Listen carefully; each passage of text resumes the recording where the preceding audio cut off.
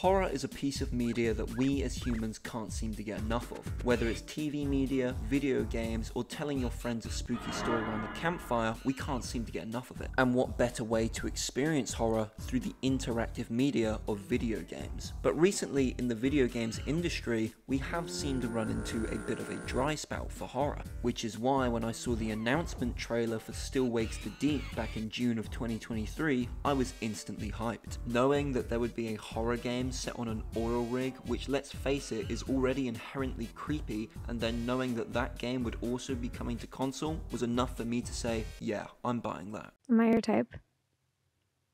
Um, I'd do it. Oh yeah, I might want to add in that the gameplay and art design looked really cool too. Nice. So I waited and waited, watching every trailer that dropped and even commenting on some trailer videos, telling the devs how excited I was for the game and how good the game looked, and also to keep up the good work. I did all this watching, waiting, and even talking about the game until finally the game dropped. And then I got a little bit annoyed that it didn't release on Xbox Disc yet, but still, nonetheless, I bought the game and was ready to play. Without delay, let me tell you, my experience with Still Wakes the Deep in today's Ultimate Review. In this video, I want to go over every single part of this game and analyze it in great detail. That all starts with the main menu screen. Yeah man, I meant it when I said every single part of this game. This is not no IGN review. IGN picked Fallout 3 as its game of the year back in 2008. Two years later, we have Fallout New Vegas, but it often feels like a giant expansion for Fallout 3 rather than an all new game. This is definitely still a wasteland worth exploring.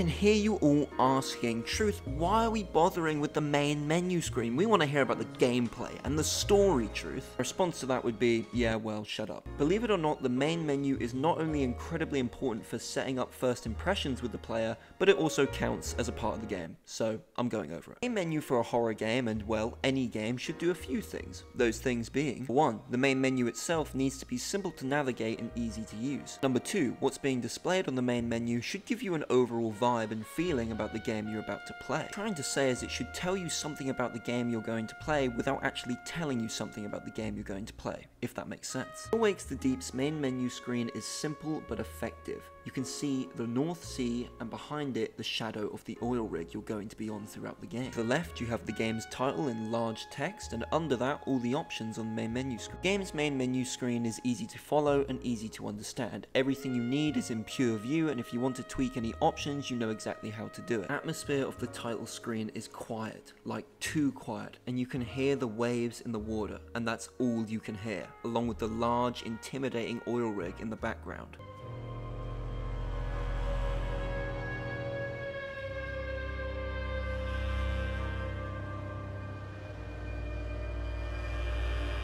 My opinion, this is a perfect main menu screen. It's simple to use and easy to understand, and the atmosphere screams what the game is trying to portray. Still Wakes the Deep starts with a slow pan into the oil rig whilst a woman is monologuing in the background. Still can't believe you went. What are you thinking? Going to that place? Wish you hadn't got yourself into this mess, but you did. The woman talks about how she can't believe that you went and how she's tired of running and that she wants this to be over. Can't run forever. It's clear she's talking to the player here, and don't worry, if you didn't pick that up, it's fine because she says the player's name about 10 seconds later. Now, please, Kaz. The monologue ends with the woman saying she won't wait for him and that the girls made him a Christmas card. I just want it to be over. You home. The girls want you home, but if you don't deal with this, then we are done for good. I love you. But I won't wait forever. Susan. Jesus, Suze. Girls need you a Christmas card. We then get our first F-bomb of the game, which helps me make no money or as little money as possible off of this video. So thank you, the Chinese room. Suze. Girls made you a Christmas card. Ah, fuck.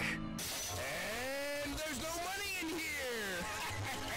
The camera then cuts to a first person perspective, where we see our protagonist, Kaz, sitting on a bed inside the oil rig, reading a letter which was the same monologue being said at the start of the game. From this letter we can find out quite a few things. For example, we can infer that the letter given to Kaz is from his wife. The woman mentions girls, which implies that Kaz and this woman have had children together. I want you home. The girls want you home. The woman, or Kaz's wife, also seems quite upset or even confused why Kaz has gone to, quote, that place. You went. What are you thinking?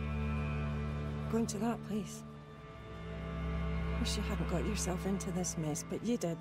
Referring to, of course, what we can assume is the oil rig. She also mentions that Kaz is running away, can you run forever? which could imply that there's a deeper meaning to why Kaz is on this oil rig in the first place that we the player don't know yet. We find out quite a lot from this letter, but it also leaves quite a lot to be desired. Kaz is called through for breakfast by one of his crewmates, and it's at this point in the game where we're given full control over him. And what's this? He has legs and a torso and shoulders? Right, stop the review, give the game a 10 out of 10 right now.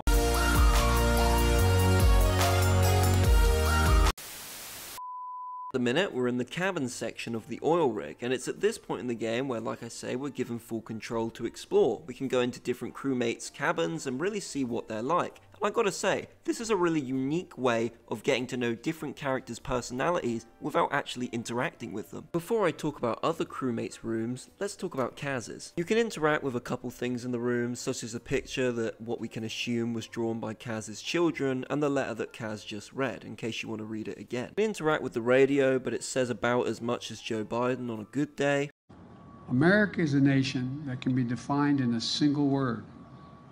I was going to put him. Uh, foot, foot, Looking on Kaz's walls, we can see a picture of a young boxer who we can assume was Kaz when he was younger. We can also see on the side of Kaz's window a few pictures of a woman, likely Sue, the woman who wrote the letter to Kaz, Kaz's wife. If you're wondering why there's tinsel everywhere, why don't you take your own sensible guess? In the cabin opposite Kaz's, you can find a letter addressed to who I can only assume is Trots.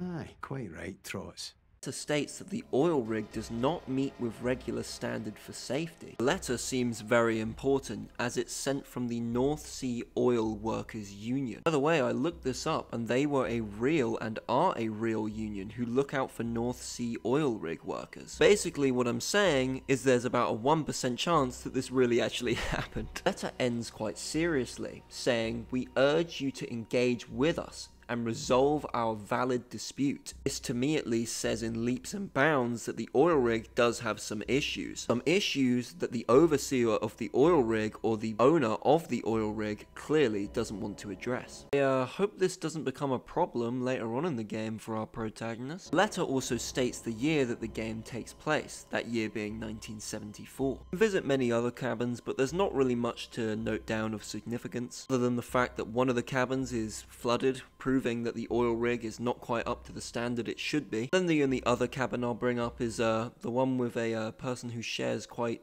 colourful opinions, I'll just say. On the way to the cafeteria, Kaz runs into a woman called Finlay. She's a maintenance worker and is currently fixing a pipe. All right, Kaz. I'm alright. What are you doing up there? Pipes leaking. If it's not one thing, it's the other. Finlay informs Kaz that Raynick, the overseer of the oil rig, is very angry and wants to see him as he's got a letter from mainland guarding Kaz that, let's just say, hasn't made him too pleased. Speaking of, you are in the shite, wee man. Rennick got a letter this morning from the mainland and he's been up to high oh, do ever since. Heard he's gunning for you. Well, that's just brilliant. He also mentions that the oil rig, like as we could see before, is pretty much falling apart, and mentions one name that we haven't heard before, Cadal. Fucking Cadal and f***ing Rennick cutting corners. Aye. Cadal is the name of the company that oversees many of the oil rigs in the North Sea off the coast of Scotland. Oh yeah, just in case you couldn't tell, this game's set off the coast of Scotland. As you pass through the shower room, where of course nothing of any interest happens whatsoever, you can get to the cafeteria. Once you enter the canteen, you can speak to your fellow crewmates who are already sat down eating. There are three tables you can interact with. The closest one to the door has three men on it. The main man speaking is Trots, talking about how the workers need to unite and stand together to take action before the oil rig gets worse and the conditions of safety are worsened. And Cadal are just going to make more cuts to get other rigs on the go. If we don't take industrial action soon, this place. Oh, come on! If we don't take industrial action soon, this place will be even more of a death trap than it already is. The middle table has two men sat at it, Brodie and Ralph. Ralph, who sounds like he's 20 but looks like he's 40, is going on his first dive today and is a bit nervous. So our likeable main character Kaz tries to say some words of reassurance. Ah, you'll be alright, pal. Especially with the big man here looking out for you. Have you done it before? Christ, no. I'll stick to the lecky, thanks. No great in tight spaces, and it's blowing a gale out there. Really filling the lad with confidence there. The final table you can interact with only has one man sat at it, the same man who shares some quite interesting political opinions. And when you interact with him, he mocks you and is pretty rude. Great. Really great to see one of the only British people in the game get some fantastic representation, really doing us proud. Once you've interacted or spoken to all the three tables, you can go over to the main chef Roy. However, before you get a chance to actually speak to him, an angry voice shouts for you over the intercom. McLeary, to my office. That means now, not as soon as you're ready. Now. It's here where we learn a bit more about what Rendrick, the overseer of the oil rig, might want to talk to McLeary about. Just to make things clear from this point onwards, the main character, the person you play as, is called Cameron McLeary, but people call him Kaz for short, so I'm going to call him Kaz for most of the game. But if you hear me say Cameron or McLeary, it's still the main character I'm talking about. When speaking to Roy, Kaz mentions the police. Ah, the sweet sound of Davy Rennick. You think it's the police? You think it's the police? The two men talk about this incident that Kaz had with the police for a minute or two, and we get the sense that these two men bond and connect on a deeper level than other crewmates with Kaz. As Roy almost seems like this older brother or uncle to Kaz. Roy mentions that Kaz beat someone up, which we can imply is why the police were involved, which we can also further imply is why Kaz might not want to work on mainland and might be more comfortable working on an oil rig off the North Sea. Get the jail she won. Well, maybe you could have considered that while you were battering Billy Chamberlain's head in. Slagged off Susie, had it coming. For the first time in the game, Kaz is told by Roy that maybe he should just face this incident and go back to mainland. Listen, mate, even if it is the police, maybe it's best to just go back and face it.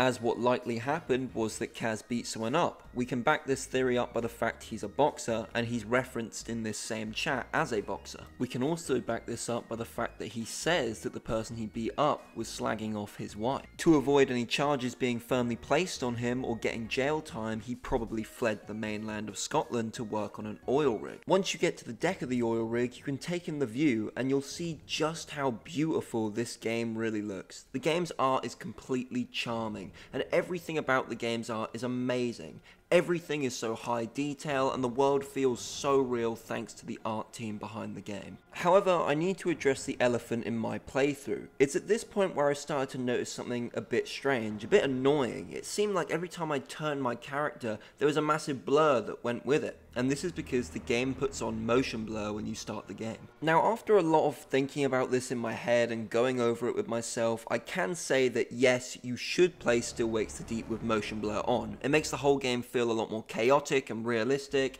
and just a lot more desperate overall, where you're looking and everything's blurry and you can't quite see what's going on. However, if you're someone who absolutely can't stand motion blur, that's fine because there's an option to turn it off straight away. Aye. Damn, this game looks really good though. Uh, what's this? Uh, uh, uh, is that motion blur? Get anyway, back to the art. The game's art is great. Whether you're in the dark, creepy, flooded legs of the oil rig, or whether you're outside on the dangerous and windy deck of the oil rig, the game's art is beautiful, pleasing to look at, and overall fits the world's environment and atmosphere perfectly. But to be honest, there was no doubt in my mind that the art wasn't going to look great when it's made with Unreal Engine. Anyway, back to the game. You're moving through the deck, and Raynick seems to be getting more and more impatient with you. No, he loves it. Clary, my office. And don't make me ask again. In a better mood today, is he? He'll be alright, Kaz. As you move through the main deck, you can see just how near dysfunctional the whole rig is. To top this off, when passing the main drilling section, you can be told that the drill is playing up. Well, oh boy, I sure hope this doesn't cause any issues. Ah, drill's acting up this morning. Got the crew running around like blue ass flies, but they cannot make head or tail of it. Before getting on the lift to go see Raynick, you're asked by one of your fellow crewmates if you can fix a fuse box. If you're unaware, Kaz is an electrician on the oil rig. The fix is simple and satisfying, and as the player, you get to click just a few buttons to have it done. Heading up to the top of the elevator, and you can find Raynick in his office building above all the workers below. Raynick is a small man with a short fuse and no patience whatsoever. He demands that Kaz immediately sit down in front of him and then goes on to confirm that Roy is in fact one of Kaz's good friends. Mr. McLeary, so glad you could join me and sorry to have got you out of bed. Shut the door and have a seat. No, I'm fine, Stan. Sit your ass in that chair, you fucking liability. But I don't... I run a tight ship. Do you understand me? A tight ship. Technically, it's no shit. Shut your gob, you Ned prick! I am sick, sick to fucking bouking of you wee gobshites messing with my operation. That chef might be a mate of yours, but he does not run things around here. I do. Do you understand me? That chef might be a mate of yours. Raynick flies off the walls at Kaz, and it's at this point we can see that the man has an extremely high ego. You might be the height of shite on shore, McLeary, but out here, I am the fucking king. Do you understand me? Raynick clearly feels like he is the most important and the most powerfulest person on this oil rig. He is extremely annoyed that Kaz has caused the police to inquire about him. You bring the police to my door? To my rig? Uh, look, I, I can sort this, right? I just need time. Shut it, you clatty gobshite. Raynick, as the overseer of the oil rig, probably doesn't want police around it because they'll find that the oil rig does not meet the regular safety standards that it should. Raynick gets a phone call from the drill operators, telling him that they need to stop drilling as something doesn't feel right. I'm in a meeting. What? Fuck's sake, Gibbo, I don't care. We're on a schedule. It's a fucking drill. You've got a fucking drill, so drill through it. However, unfortunately, egotistical Raynick demands that they keep drilling now. He's not having any of it and wants them to drill straight through whatever's in their way. Well, Roper's a whiny old fud. He's got a problem with everything. I don't care if it feels off. Just fucking do it! Or I'll come down there myself. Raynick puts the phone down, and it's at this point he fires Kaz right there on the spot. You're fired. You hear me? Fired. Come on, man. It's only a wee bit of trouble with the polish. I'm good with the lecky. I keep things running. You said it yourself. Out! Get off my rig! Kaz tries to plead with Raynick, however, to no avail. So if I were to sum that conversation up in a few words, I'd say it's like an angry Fortnite child when he doesn't get his V-Bucks.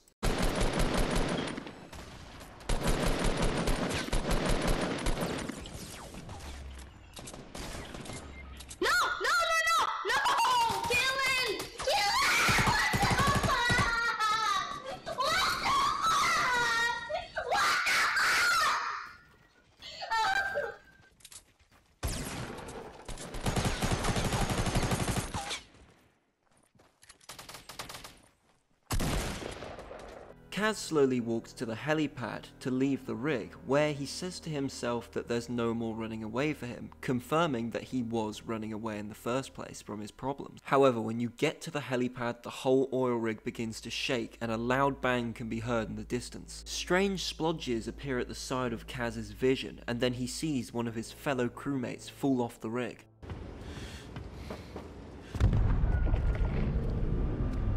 Jesus, Gregor!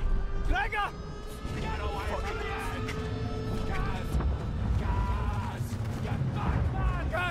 Help me! Kaz does everything in his power to save the man, however, the man ends up falling off the rig into the North Sea below. And then, suddenly, another explosion can be heard in the distance which once again shakes the oil rig, leading to Kaz to fall off as well. When Kaz falls off the oil rig, he seems to have some sort of hallucination slash flashback.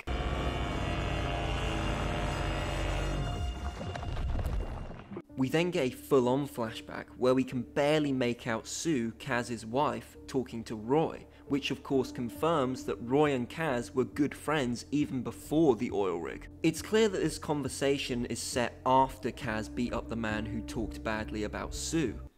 I had a word with our you remember him? He knows Billy Chamberlain from way back. Owes me a favour. Reckons you can sweeten Billy up a bit. Come on. Have I ever let you down? It appears that Roy is trying to convince Kaz's wife Sue that he should come with him on the oil rig for just four months for work. But perhaps if you went to the Saracens a little less and the Tabernacle a little more, then perhaps you'd not be in this pickle, eh? Don't, don't look at me. You're the one who decided to spend the next four months trapped on a rig with this bampot. The flashback ends with Roy promising Sue that he will sort things out, and then the flashback ends abruptly. Susan, I promise you, I promise you, we will get this straightened out. I will. You'd better.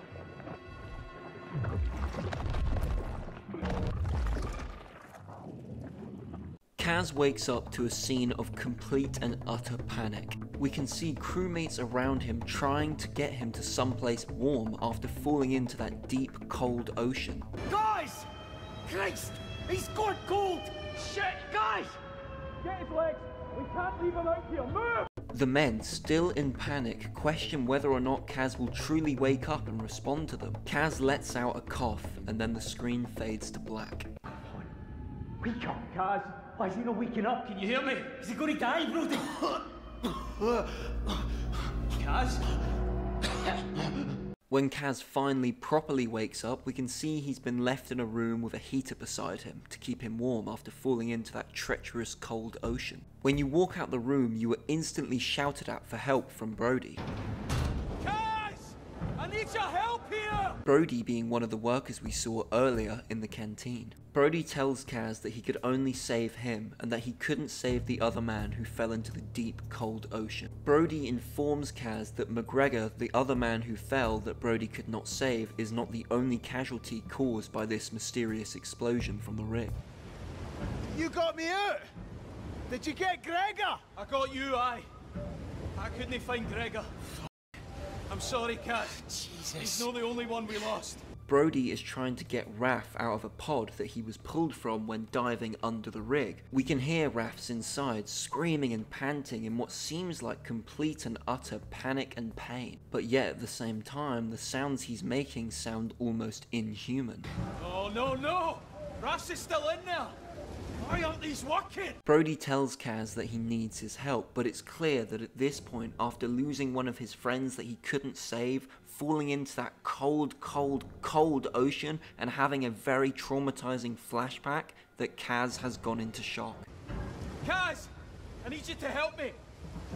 Kaz! What? However, Kaz snaps out of it thankfully and agrees to help Brodie save Rapha. Okay, so it's time for me to talk about puzzles. Well, sort of. Puzzles in Still Wakes the Deep are always very simple and to be honest are hardly puzzles at all. When you're using any form of interactive equipment on the oil rig, there will be an instructions picture next to it telling you what to do and how to operate it. And yeah, it's that simple, all you have to do is follow the instructions. I must say, while these puzzles aren't very difficult whatsoever, they do feel very satisfying to complete. They also fit into the world of Still Wakes the Deep very easily. You can find instructions and safety pictures slash posters all around the oil rig, or even just pictures showing you where you are on the oil rig itself, and this makes the game feel very, very grounded and real. There are a few more thought-provoking puzzles in the game, but for the most part you're just following instructions when doing a puzzle. But to me, that's okay, because it's more about world building here than it is actually solving a puzzle. Action events slash quick time events feel satisfying and fun to pull off. Overall, they just make the world feel far, far more believable. I mean, in real life they would have instructions like this right next to equipment, so it makes sense that they do in the game as well. Anyway, after helping Brodie by literally pushing two buttons, Kaz asks what happened. Brodie tells Kaz that the drill hit something, but no one really knows for sure.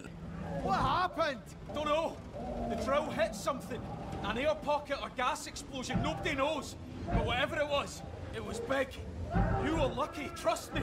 Rapha continues to scream in what seems like agonizing pain. If now. What's wrong with Rapha? I don't know, alright. Decompression shouldn't be this bad. Oh, I shouldn't have let him go down there. I said I'd look after him.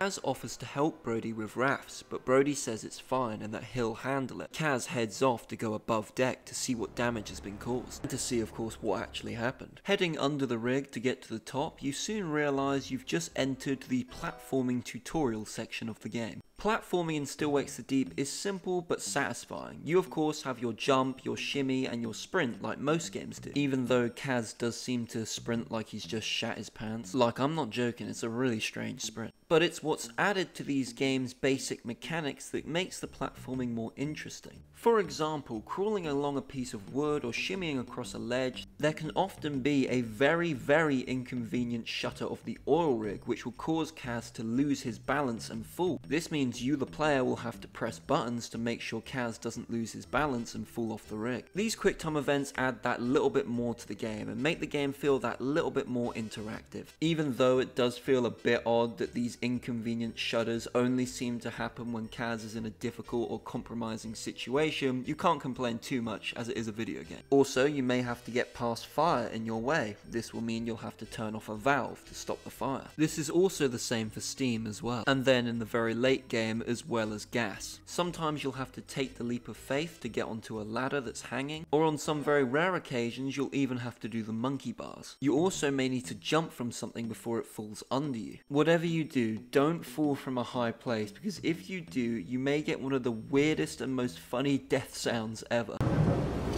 Fuck! I will catch you, and I will never let you go again.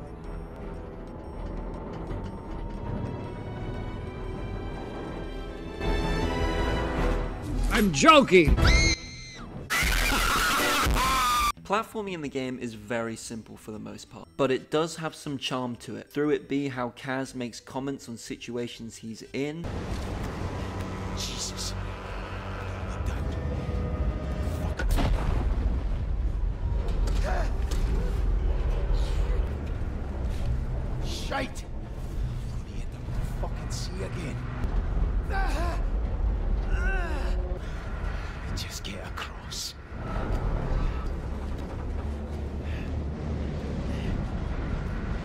Having to perform QuickTime events themselves, the game's parkour is simple but satisfying and fun like most things in the game. Also, might as well say it now, this is where the game introduces the feature to be able to open doors that are locked. There's nothing really of any interest to note here other than the fact it's really satisfying to pull off. Now let's talk about something a lot of people had a problem with, that thing being yellow paint. For years now, gamers have been debating whether games have too much yellow paint or not. If you're unaware, games like Dying Light 2 and Mirror's Edge use yellow paint to indicate where the player can go and what the player can interact with. Still Wakes the Deep is no different. Now, Still Wakes the Deep uses yellow paint a lot, and I mean a lot. So it's caused a bit of a stir in the gaming community to whether or not the game is holding the player's hand too much. And yeah, to be fair, I can see why people are annoyed by this. The game is linear, so that means pretty much for the whole game you're only following one path. So that begs the question, why so much yellow paint then? Sadly, the game, as far as I'm aware, did not come out with an option to limit or turn off the yellow paint, though thankfully it does have one now.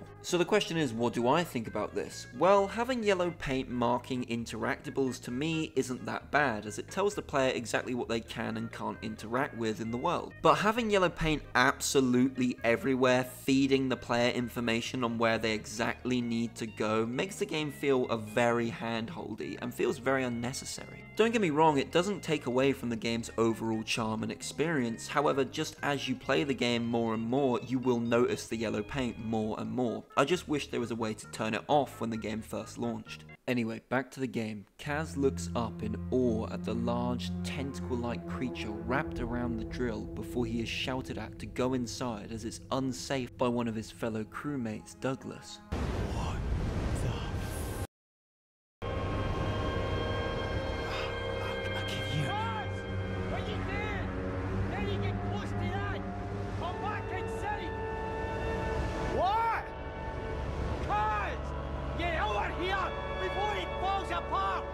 Once again, we see that strange substance at the side of Kaz's face when he stands near this weird tentacle-like thing. Once we make our way inside leg C of the oil rig, we can see this tentacle-like creature wrapping itself up the leg, moving quickly and spreading rapidly. Raynick's voice can be heard from over the intercom, telling workers to stand down while he finds out what's wrong with the drill, showing how just out of touch he truly is, as he knows nothing about what's going on below him.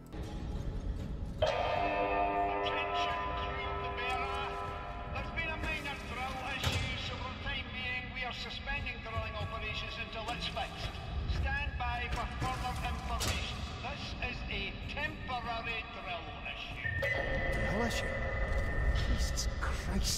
Think this shows just how inconsiderate Rennick really is to the people working below him. He probably doesn't even know that people have died. At the bottom of the oil rig's leg, Kaz finds a flashlight, which he mounts to his helmet. Entering a flooded back room of the oil rig, you can see just how much damage has been done, with the oil rig seeming to be groaning and moaning, and the entire floor being covered in water up to waist height. And to top this bad situation off, the lights are completely out. The only way you can see is with your helmet flashlight. The music suddenly and rapidly picks up as you hear the distant scream of something in the distance. The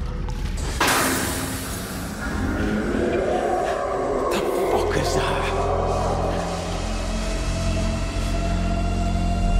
It's here where the mechanic of opening vents is introduced, which you can use throughout the game to get around obstacles and even sometimes evade danger. Entering a small room, you can see the floor littered with blood. Something is clearly not right here. Entering another room, you can see Finlay, who seems to be shaken up from just the look on her face alone. Finlay tells Kaz that Kibble is the one making that strange screaming like noise and that he needs to stay away from him. Finlay says that Kibble turned feral when he got some oil on him or something, and that when she tried to help him, he tried to attack her. You look like you've seen a ghost. Who's making that noise? Gibble, he's making that racket. Should we no find him, help him? No, wouldn't recommend that. What does that mean? It means he's no alright. After that explosion, he got oil or some shite on him and just, I don't know, he freaked out, went for me. Kaz heads off as it's the only way back to accommodation. Before he goes, Finlay tells him to be careful. Again. Kaz! Be careful, eh? Aye. You know. I mean, to be honest, I don't know why Kaz doesn't just crawl through the metal gated gap, which is clearly easily fittable through, but hey, they've gotta make it a video game somehow. Going deeper and further into the oil rig, you can see more and more blood, and these strange oil-like splodges appear on the sides of Kaz's face again. Entering a larger room, you can find a locker that the player can now hide in. You know the horror's about to start when you can now hide in places. It's big, scary!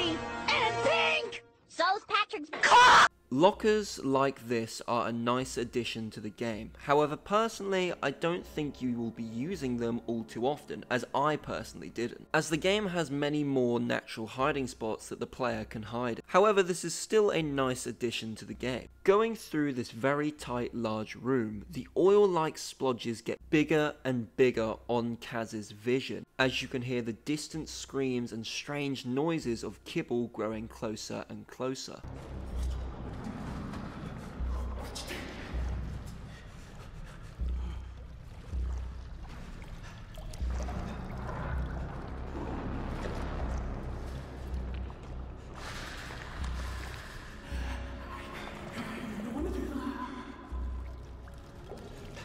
If you're one of the few people in the world who play games with subtitles on, like seriously, what are you doing? Get fully immersed, don't use subtitles like me, just go in and hope for the best. Ah, the sweet sound of Davy Rennick. You think it's the Paulus?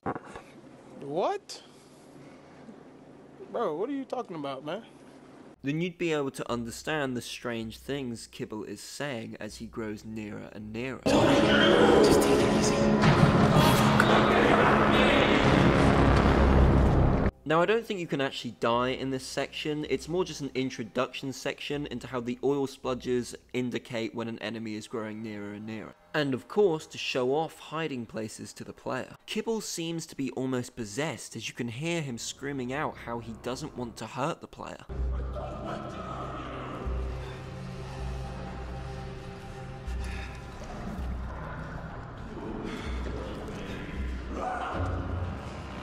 When you reach a door with a ladder going down it, Kaz is locked inside and thrown down the ladder. You can see for just a split second the strange silhouette of some sort of creature that seemed to throw you down it. You hear whatever that thing is banging on the door trying to get in at Kaz.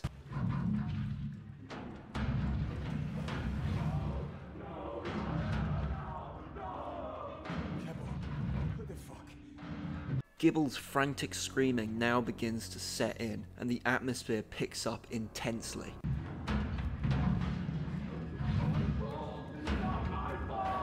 Now desperately trying to escape, you turn a corner and find one of your fellow workmates dead, sloped up against a ladder covered in oil.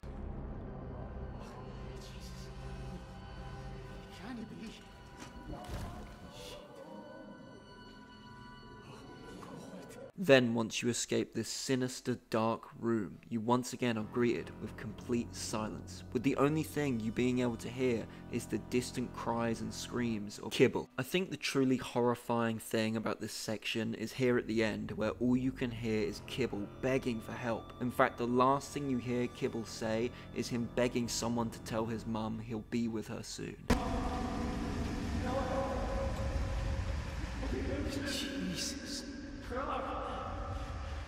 Once you reach the exit room, you're tasked with getting warm. And to be honest, there are many sections like this in the game where you're tasked with just getting warm or finding a heater. I personally think these sections were put in the game so that the player could have some downtime, and so that the player could think about what's just happened, and so that Kaz can express what he's going through throughout the game. I stop shaking? Fuck. God, Stop thinking about it. Just stop thinking about it. Jesus. Right. Right. Entering accommodation, Kaz gets a phone call from O'Connor telling him that there is something wrong in engineering and that he is coming up through the leg of the oil rig. Kaz tries to warn O'Connor that he can't come up through the leg of the oil rig as it's completely blocked by whatever that thing is, so he'll need to go through accommodation. However, before he can fully say it, he's cut off as the phone goes dead. You need to tell me twice. Listen, something's wrong in engineering. It's not safe. We'll go through the leg and come up through the underrick. Rennick better give the evacuation. O'Connor, you have to go through accommodation. It's all blocked. Do you hear me? O'Connor! Kaz makes his way through accommodation. Kaz can hear the screams of a man called Trots, one of his friends, from a closed door in the social room of the oil rig. Kaz tries to help as he doesn't know what's going on in there, but to the player it's blatantly obvious what's going on in there. But the door won't open one bit, so all Kaz can see is a blinding white light whilst listening to his friends scream. Trots? Trots, is that you? I can't hear you, man. Open the door. Trots, the door's blocked. I can't get to you. What's up, wee man? Are you hurt? Jesus Christ. Jesus, Trots! Trots! Kaz finds Roy in a complete panic, stockpiling poo. Uh, Ahem. Kaz finds Roy in a panic, stockpiling food and trying to hide in a storage room. Get in, quick. Thank God you're alright. Jesus, what are you doing in here? What do you think I'm doing in here? What the bloody hell is going on? Kaz informs Roy on the situation, telling him that things are bad out there and people have died. People are dying, Roy. Dead? Who? Who who's, who's dead? How? Douglas. Trots, I think. I, I don't know, it's, it's this thing. I, I think it's doing something to people. I don't know what to believe, you know what I mean? And Roy tells Kaz that he did in fact see some sort of weird thing out on the deck, which scared him enough to have him run in here and start stockpiling food. I do, I really do. I saw something out on the deck. I, I didn't stay to look, it just scared the shit out of me. I should barricade the door. Roy and Kaz decide that their best bet is to get to the lifeboats and get off the rig. I should barricade the door. We can't hide, Roy. We have to get off this rig right the fuck now. What, without Rennick say so? Roy, did you hear Rennick? What, you think we're getting evacuated? He'd want everybody back at work if we were at the bottom of the North fucking Sea. Right. The lifeboats, then? Aye. It's here when Roy admits to Kaz that he is scared and he wouldn't blame Kaz if he left him behind. You stay. Barricade the door. Let me clear a path, and once we're ready to go, I'll come and get you, right? I'll be here, don't worry.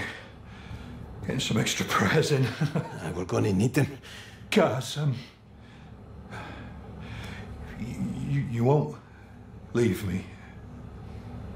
I, it's bloody terrifying out there. I'm not leaving you, I wouldn't blame you if you did, mate. Which of course contrasts the very confident and supportive Roy we saw at the start of the game. Kaz does his best to reassure Roy that he will not leave him. You've got all the food in here for a start. Listen, get your man upstairs on the case, and I'll see you soon, right? And it's here in this two minute interaction we can really get a feel of how good Roy and Kaz's connection is to each other. You can really see that Roy is terrified and he really needs Kaz's support and help here. In the same sense that you can see Kaz is scared, he just doesn't want Roy to know that and wants to help Roy. As you move through the rig, you can see strange purple biomass everywhere, seeming to wrap itself around the rig and be taking it over by the second. You can find one part of the rig's ceiling covered in strange mass with the heads of Kaz's crewmates stuck inside it. Something even further more disturbing is these strange tentacle-like things can be seen pulsing as if they have a heartbeat. Entering the laundry room, you can hear strange noises coming from somewhere. Anybody in here? There are warnings of gale. When you go to leave the room, Kaz is knocked over by something that looks like a tentacle coming through the ceiling. Once you make your way to the outside of the rig, you can see just how much damage has been done, as you're gonna have to parkour like you're Kyle Crane just to get to the lifeboats. Rennick's voice can be heard over the intercom once again, telling the crewmates to head to the nearest evacuation point, but not to be too happy because he wants them back to work in 15 minutes. Attention crew of the Beira. All personnel need to get to their nearest evacuation point. And don't you all get too excited now. You'll all be back at work in 15 minutes once I get all this nonsense straightened out. Fucking bastard. Like I said before, this just shows how out of touch Rennick is and how he truly does not know the severity of the situation going on on his own oil rig. Once you actually make it down to the lifeboats, you can find that nearly all of them have been damaged or destroyed, leaving only the one on the end as a valid option. However, we all know how this is going to go. If Kaz just got on the lifeboat and left, this game would be about 40 minutes long and not 3 hours long. So of course, while following the instructions trying to get the lifeboat ready, it malfunctions, causing the boat to drop prematurely and become useless to Kaz and Roy. This just shows how both Rennick and Cadal truly did not care about the safety of the workers on board their oil rigs and just wanted to cut as many corners as they could and of course spend as little money as possible on the rig's safety features so that they could get to drilling oil as quickly as possible. One of the service phones rings next to Kaz. Picking it up, we can hear Rennick's voice on the other end. Rainick asks Kaz if he's with anyone and if he is, he needs to get to the helicopter as soon as possible. I have to give some praise to the voice acting here because it's just so good. It sounds spot on to just how two real human beings would sound who don't particularly like each other talking to each other in a stressful situation like this. But then again, all the voice acting in this game is so good, so real, and so human. I wish I could say the same for other games. Fort. You're here. We haven't got much time. Who are you? Why have you been watching us? I don't even have time to explain why I don't have time to explain. Who's that? Rennick, it's me, Kaz. McLeary, what the fuck are you doing to my lifeboats? It's gone. It just fell off into the fucking sea. You must have done it wrong. Fuck off, Rennick. You built this fucking thing, not me. Who's with you? Uh, Roy's in the canteen.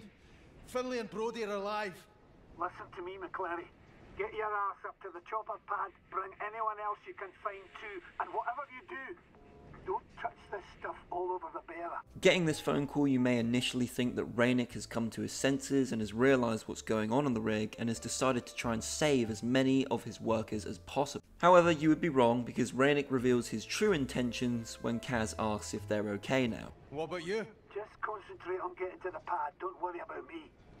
You see, Rennick? What? Well, does this mean we're okay, like?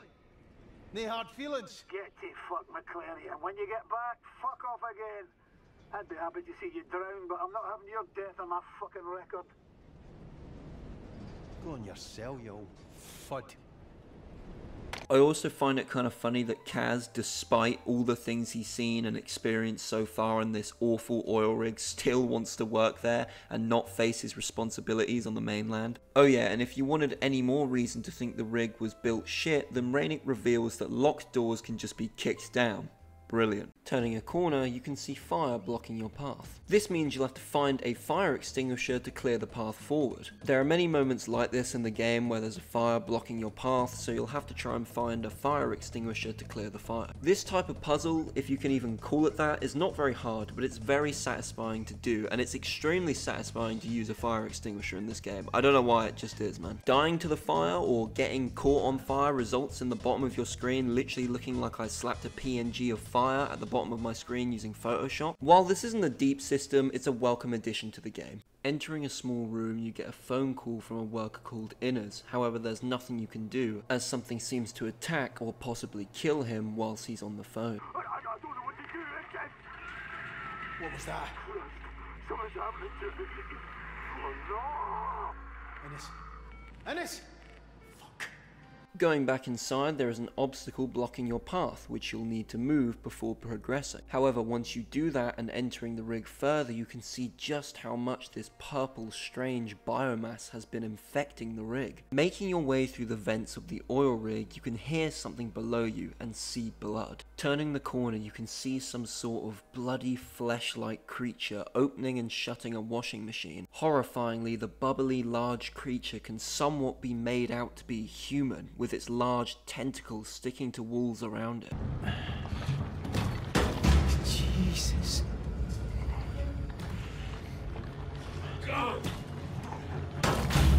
Entering the room and getting closer to it, you can see with a good look that it was sadly one of your fellow crewmates at one point, Trots. You can hear him groaning in pain and even hear him speaking, showing that there is somehow someone still in there somewhere.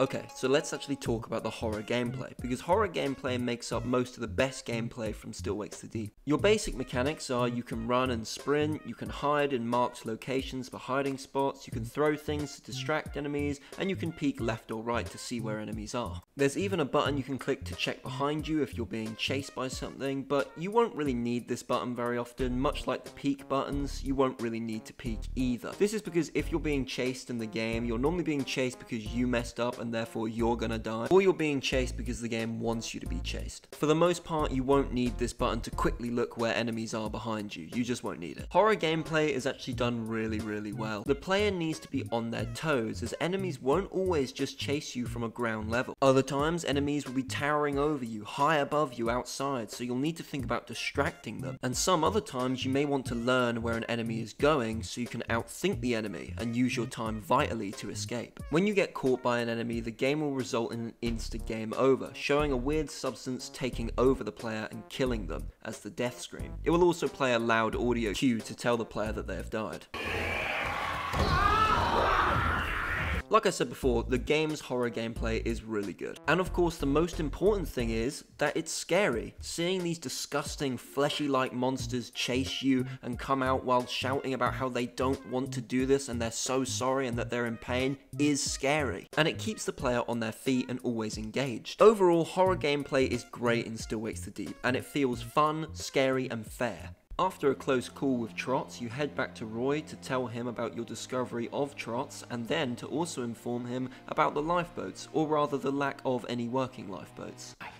Cuz, you alright? Jesus, you look terrible. Do not go down those fucking stairs. What the hell is going on? Uh, trots. I, I think it was Trots. No, it's just fucking horrible, whatever it is. Just stay in here and keep quiet. Did you get to the lifeboats? Yeah. Fuck knows if they ever work, but they definitely don't fucking work now. Kaz informs Roy that he spoke to Rennick and that Rennick told them that they need to get to the chopper. Get to the chopper! Still reckons we should get to the bird. You think? You got a better idea? But Roy has a major problem. That problem being he's diabetic, meaning he needs his insulin. Cuz, mate, I'm not going to make it over the deck. I'm not feeling so good, pal. I think I need my insulin. What? You're fucking kidding, Roy. Now? Oh, I'm sorry to inconvenience you, Mr. Bloody Fit and Healthy.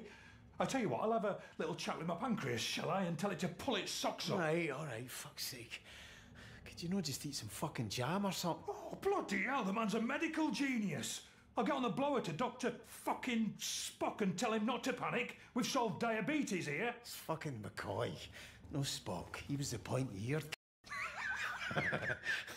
After Kaz is done solving diabetes, Roy agrees that he will head back to his cabin to get his insulin while Kaz goes to the helicopter to make sure that Roy is waited for.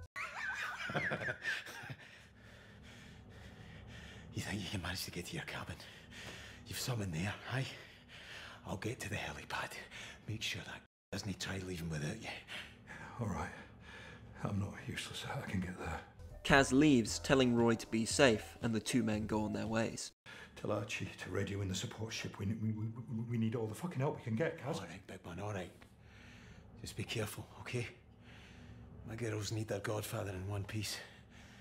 Once again, this scene with Roy is amazing. The two voice actors absolutely smash out the park here, and you can truly tell that Roy and Kaz have such a good connection, and that Kaz is doing everything he can to support Roy, and Roy is trying his hardest to make things easy for Kaz, even though he struggles. Once again, what an amazing scene. Heading outside, once again, you can see just how much damage has been done to the rig in such a short amount of time. You can hear the screams of some sort of monster coming from somewhere outside.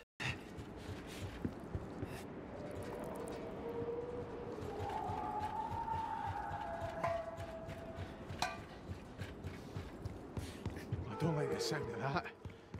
Whatever it is. Once again, Rennick's voice can be heard from over the intercom, telling workers it's their responsibility to get to the helicopter and not his, giving himself an excuse to take off without them if he feels like it. All personnel, this is an evacuation order. In case I wasn't clear enough the first time, that means get to the helipad now. It's your responsibility to get there, and we will be leaving with or without you. That bastard thinks he can fucking leave us. Making your way further through the outside of the rig, you can see a long tentacle pull one of your fellow crewmates away into the thick fog, and all you can do is watch. No, no, no! Jesus. Dobby! Christ almighty. You run into Innes, a worker you were on the phone to earlier who you thought died, however is still alive and talking to you now. Side note, but what the fuck sort of name is Innes? I'm sorry, how, I keep nearly saying it wrong. Who? Why are you called Innes? You find Innes in a complete state of shock and confusion as he even tried to reason with Murloc, the monster rampaging around the deck, killing anyone in his sight. Kaz tells Innes that clearly Murloc is not himself anymore and the two of them just need to focus on getting to the helicopter. I don't understand, Kaz. Listen, we have to get to the helipad, all right? I tried talking to him, but he came for me. Like, he didn't care me at all. It's no him anymore, Innes. There's nothing we can do but leave. Save who we can. Aye, aye, you're right. But the only way up is the crew lift. He won't let anyone leave. Then we need to get past him. Uh, all right. I'll see you there. But hey, don't be a hero if he hears me, all right? And don't let him hear you. Aye. See you at the lift. And then the gameplay begins. This is your first open area with a monster, and this is my favourite sort of encounter, as you will really need to look where Murloc is and then move from cover to cover to avoid him at all costs. Overall, it's a really fun section because if you're not switched on all the time, there are some moments where you can get caught quite easily. Once you find Innes again, you can see him trapped inside a container, so you will have to use the hoist controls to move a box blocking his way, and yours. Christ, can you get out? Let's not do that again. Muir was coming at me. I just froze. I didn't care how I got myself in here, but the cargo hoist came down and we're, we're right crabs in a creel now. Are, are those the hoist controls behind the fence? Maybe I can shift it. All right. You're a good lad, Kaz. Once you do this, you'll have to make a mad dash to the lift. However, as the lift starts to go up, Innes is grabbed by one of Muir's tentacles. Kaz tries to hold on to him as best as he can, but it proves futile.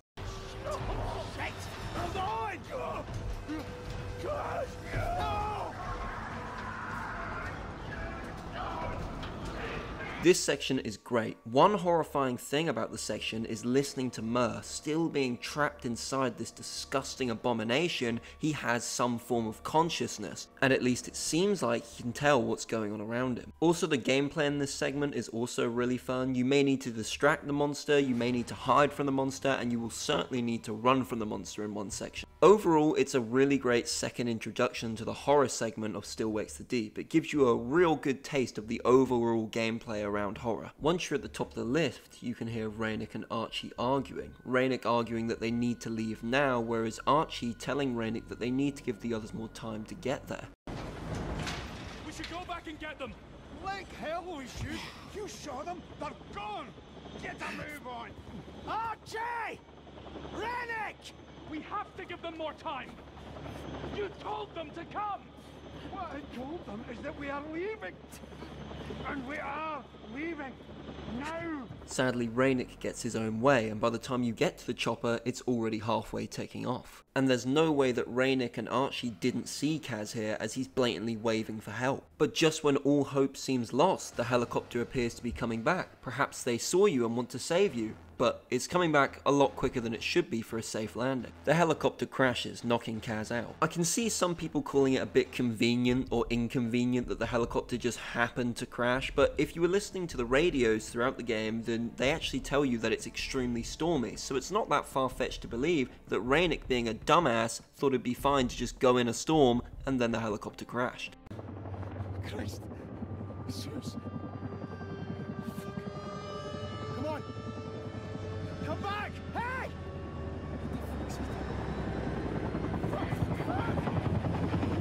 We enter a second flashback where we see Kaz talking to his wife Sue about leaving for the rig. Well, I say talking, they're more arguing than anything else. Sue is trying to tell Kaz that his problems with the police won't just go away if he leaves mainland Scotland. You can't better than to let you two together. The two greatest minds of your generation united over a bucket. Nobel Prize committee will be warming up their checkbooks already. You seriously, seriously think if you leave the country this will all just blow over? Sue tells Kaz that he doesn't even know anything about oil rigs or how their electric works. He only knows how to fix terrace houses electric. No one's going to chase me out into the middle of the North Sea. My mum always said I'd married beneath me, Kaz, but I thought you were smarter than this. I'm fucking doing my best. No, no, you're not doing your best. What do you know about oil rigs, you roaster? Good with the lecky. Terrace houses, Kaz, flats, maybe a shop, if you're feeling adventurous. Kaz desperately pleads with Sue, telling her that Roy will be there and that everything will be okay. But Sue hits Kaz with a reality check that Roy is nothing more than a cook. Oh, for, for God's sake. Roy's a cook. He's a chef. He's a cook. It's just for a few weeks. We'll just let it cool down a bit. Then I'll call Billy Chamberlain have a word. This uh, makes me think that the people getting the jobs for the oil rig weren't exactly the most qualified workers in the world to begin with. This was probably so that Cadal slash Rennick could pay the workers on the rig less, as they would have a more valid excuse because these workers weren't as experienced as proper experienced workers would be. Therefore, they may be able to get away with paying them a lot less than they should be getting paid for the jobs they're doing. The flashback ends with Sue telling Kaz that if he leaves, she is done with him.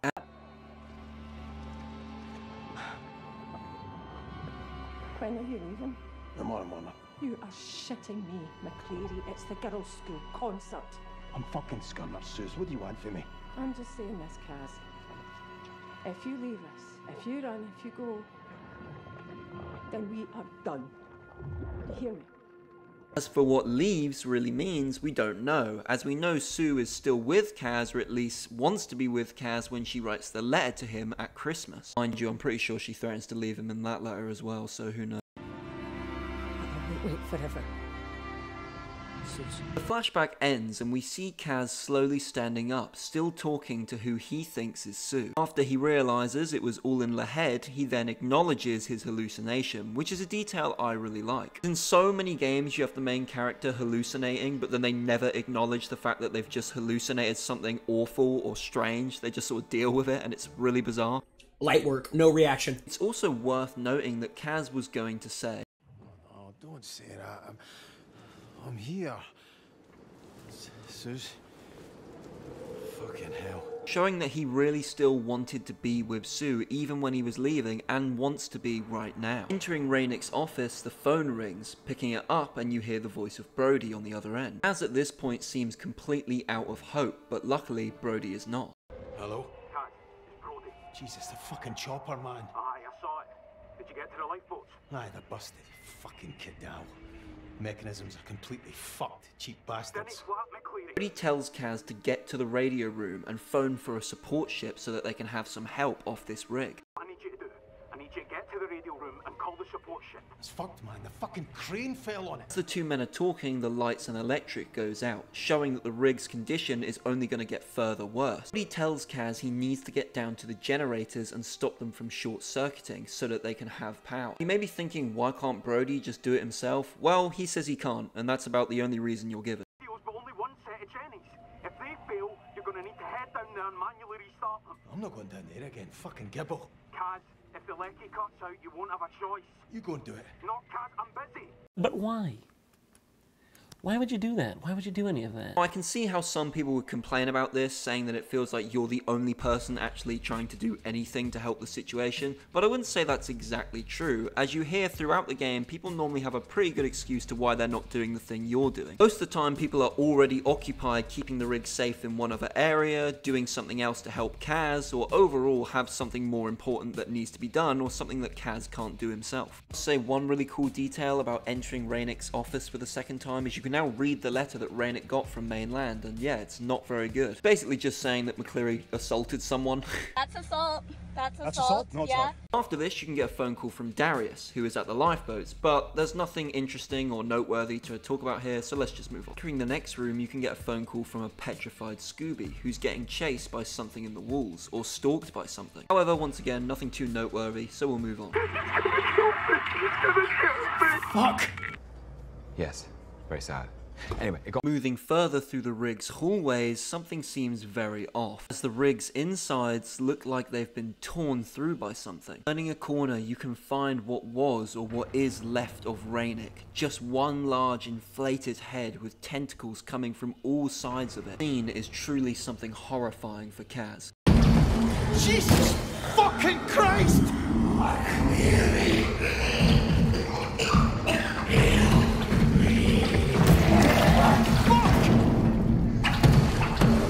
Yes, the first thing I thought was Skibidi Toilet as well when I looked at it. Fucking TikTok brain rot humour. Section there is no hiding. You have to run, and run fast. Section is amazing, and it's very, very, very intense. In one point, you're stuck in this room where there's a crate blocking your path, and you have to push it before Rennick gets through this wall that he's trying to break through to get to you. There are moments where the floor collapses under you. There are moments where you have to turn around and run from Rennick because he's running towards you. Section is incredibly intense, and what tops it off is hearing Rennick's disgusting and disturbing voice screaming at the player for help whilst running after them.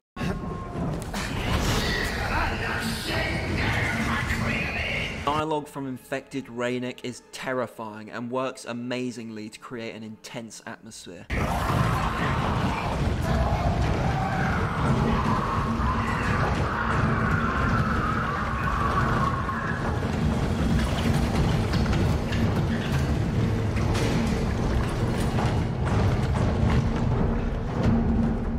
Going back outside, you see what's left of Rennick's helicopter hanging from the rig, so logically you use it as a piece of parkour. And then you get a phone call from a bloke called Bruce, but uh, he dies, so there's nothing really here that needs to be said. Bruce, Bruce, can you hear me?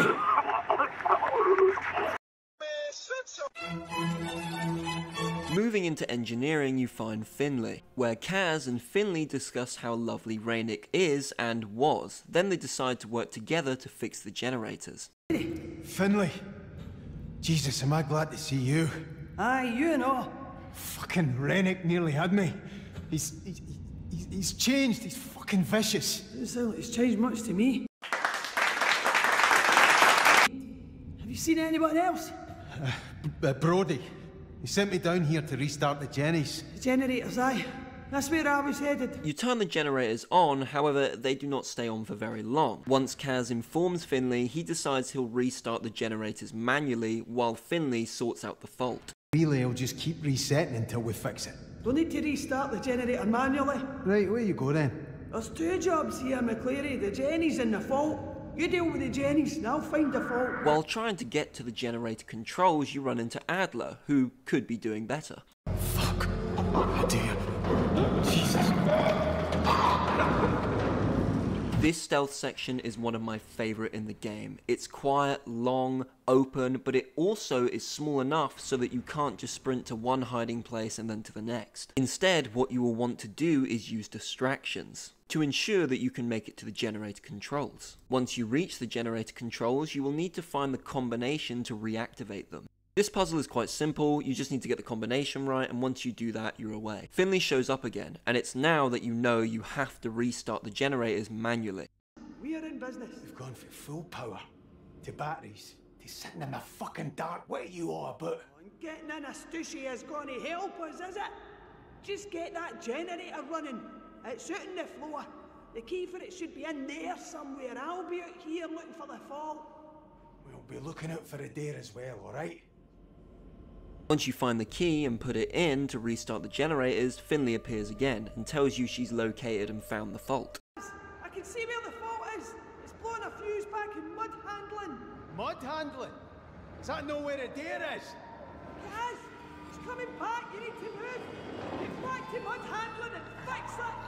Setting off to find and fix the fuse box, you will have to make sure to avoid Adler, and then do the same when coming back from the fuse box. You will then need to restart the relay, and once you do this, the power comes back on, and you get a phone call from Brodie. Brodie comes with some not great news as he reveals the oil rig has begun to sink, and that Kaz will need to go down to the pontoons to fix the issue. I thought it was Finlay with the lights coming back on. It worked?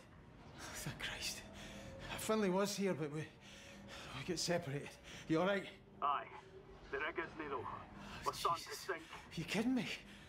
How long till it goes under? Soon, if we do nothing. Look, I need you to come down to the pontoon. Kaz at this point in the game is completely battered and out of hope, but thankfully Brodie isn't and tells him he's made it this far so he needs to keep going. Pontoons. If we engage the tension winches in all four legs, we can buy some time. What's the point? The pontoons, the electricity, they, they fucking things. It's a fucking nightmare. What you on about? You survived this long, haven't you? More than can be said for most of the poor bastards on this rig. Christ, Kaz. Somebody up there must like you. That's what Roy keeps telling me. Aye. Well, he's a Barnsley fan, so he'll be used to praise. Aye, you're no wrong there. Kaz decides to try his best. Either. You're the jammiest bastard on this rig, and we need that right now. So let's do this, aye? What do I need to do? You engage the winches in legs A and B, and I'll do the others. Easy. There's a direct route down from engineering. Aye, alright. I'll, uh, I'll find my way down. Top man, Kaz. I'll give you a shout over the tannoy if we're in business. What a absolutely great section of the game. It's the longest straight horror gameplay part of the game, but it's also the best. It's not only fun, but it's also just right when it comes to horror and difficulty. I particularly love that this section of the gameplay in horror is focused on using distractions and really trying to outthink the monster. Entering one of the legs, you will have to parkour your way down to the pontoon section. This, as far as I'm aware, is the longest parkour section in the game, I think anyway, and it's also really fun and really well done. You have to pretty much just put everything you've already learned about parkour to make your way down to the bottom. Once you reach the bottom, you'll have to engage your first winch. And it's at this section in the game where swimming is introduced as a gameplay mechanic. In fact, this whole section of the game is basically just the equivalent to an underwater Mario level. Swimming mechanics are simple but work effectively for the game. You can swim on both the surface and of course under the water. I know, what revolutionary mechanics. Oh my god! Don't get me wrong though, swimming does open the door to a lot more different encounters in the game. The new mechanic with swimming that I can think of, which is a bit different to other games, is the fact that you can grab onto things and boost yourself forward whilst you're under the water, which is pretty cool. This mechanic can be a bit flimsy sometimes when Kaz just refuses to grab onto the thing in front of him, but overall for the most part it works fine. Going through this underwater section, you can see just how many workers were drowned in what I assume was the initial explosion of the rig. It's clear to say at the least that you won't be finding any other survivors down here with you. When entering another large flooded room, the intercom turns on. On the other side, the voice that can be heard is none other than Suze, Kaz's wife.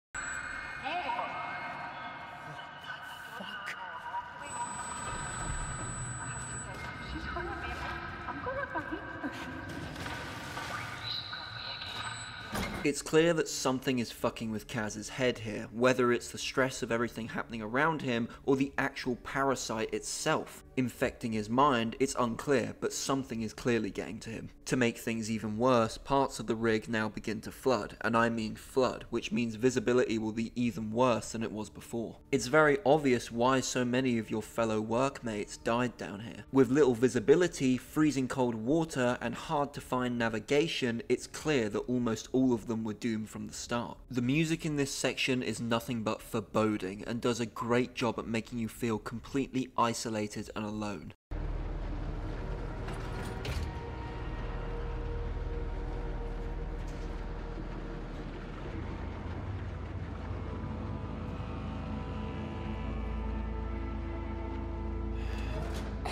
Going through a Mario pipe, you make it to the next room, which begins to flood immediately, so you will have to try and find your own path away from the water. Entering another room, you can hear the distant voice of a man called O'Connor, who we saw before, the same man who called Kaz, who we believed was dead.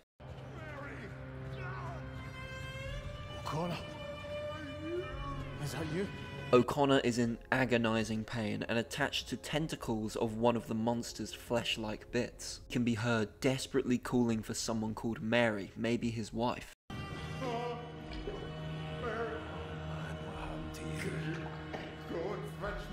Kaz realizes there's nothing he can do for him and goes to leave. However, a tentacle launches from out of O'Connor's and tries to grab Kaz. Luckily, Kaz manages to break free with the help of the player button mashing. Then release Winch B and Brody comes over the intercom saying he's done his part as well and both of you can meet up on the surface of the oil rig.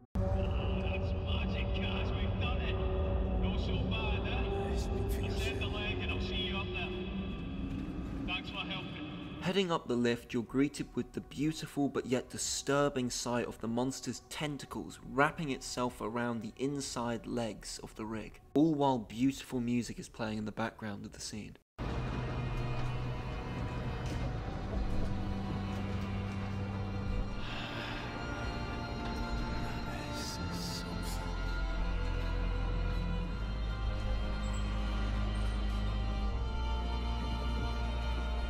A great way to just have the player have a moment of reflection on everything they've seen and witnessed so far in the game, and also just a great send off of the leg part of the game, as you never really head back down to this area of the rig again. Heading back into accommodation, you are tasked with getting warm, which makes sense considering how cold the water would have been that you were just swimming in. Remember, you're in the North Sea. In this room, you can also find a poem which is about life at sea and also has the words Still Wakes the Deep in it. Eh, eh, he said it! He said! Heading over to the phone, you are now connected with Roy, who you haven't spoken to in a little while now. Roy is obviously in a complete worry, as he hasn't actually spoken to Kaz since Kaz told Roy that he was going to Rennick's chopper. Roy, fuck's sake. Oh, gosh, mate, thank the Lord. I've been worried sick. Sorry, pal, I've been out of the shop since I last seen you. What's going on, Kaz? What happened with the chopper? Tried to go without us, but, well, didn't they work out well for him or the bird. Bloody hell, Kaz. Is anyone alive? Aye, I saw Finlay. We had to get the Jennies on, and Brodie as well, helping with the tension legs. The two men have a short heart to heart talk, and Kaz jokes about the fact that he now knows everything about an oil rig considering how much he's had to do and fix in his time on the rig in just this one day. Do you know what? I'm a fucking rig expert now. Told you to take no time. I'm glad you've not been alone out there. Kaz then also goes on to talk to Roy about his experience with O'Connor's. Uh, those two are all right. I saw O'Connor. He's one of these things, but I thought. Ah, fuck, I don't know what I thought, but whatever it is folk are being turned into, there's something of them still in there. Worryingly, we discover that Roy has still not yet had his insulin shot, so Kaz offers to go get it for Roy, but Roy says no, it's fine, he'll do it. What's going on? Roy? Uh, it's, it's all right. Uh, it's just me being clumsy. Once I get my shot, I'll be right as rain. Do you need me to come and get you? Oh, no, I can do it. Uh, you saw this rig out? Find a way to get us home. See you, girls. The heartfelt conversation comes to an abrupt end as Kaz sees an explosion in the distance and goes to check it out, so the two men head their separate ways once more. See you, girls. All right? Aye. You're a good lad, Kaz. That's why Suze loves you. She does, you know. Really loves you. Kaz? Aye. Sorry, I have to go, Roy. Will you make it to the cabins all right? Yeah, I'm on the way now. You, uh, be on yours. I'm praying for you, mate. Remember, Jesus loves you, Kaz. Everyone else thinks you're a All right, pal. Afters. Once again, this is just such an amazing interaction between the two characters and really shows their connection on a deeper level. Roy clearly being scared shitless but still acting like this older brother slash uncle to Kaz, and Kaz doing everything he can to make light of this very dark and morbid situation they're in. The two men's connection feels realistic and deep and it works extremely well for the story. Before you leave, the phone rings again and if you choose to pick it up, you will hear the voice of Sue talking to who I think is Kaz. Ah, here he is. Listen, I, I don't have long. I left away my mum. I had to get out. She's honey, babe. I'm going to have my head stuck. Sus! Is that you? Uh, oh, Jesus. this one's trying to give me a kicking and all. Gonna be a wee boxer, eh? Aye, you wish. I wish I could see you. You're beautiful like this. Aye? Well, I feel like an elephant. Chris, what is this? This is what I can assume is a flashback within a phone. And there's nothing really here I can add other than all I can say is that we can clearly see how bad Kaz's mental state has got. His hallucinations have become far more frequent now. Heading outside, you can see that this parasite is nearly completely taken over the oil rig, with oil dripping and leaking from absolutely everywhere. While walking across the rig, once again, Kaz can hear the distant voice of Suze.